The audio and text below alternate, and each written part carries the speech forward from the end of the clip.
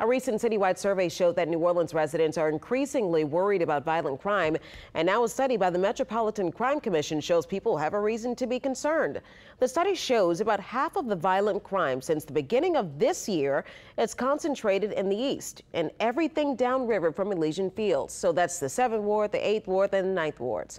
Now, this all comes at a time when the NOPD is stretched dangerously thin. 50% of the violent crime incidents in the first six months of this year are concentrated in the 7th and 5th districts. So, what we're seeing is an alarming increase in violent crime, a 50 year historical low in police staffing, and we're seeing the numbers go up, and the police department is incapable of responding the statistical trends also show significant increases in other neighborhoods. Now, this includes a spike in carjackings in Gentilly and an overall increase in the French Quarter as that area emerges from last year's COVID related lockdown.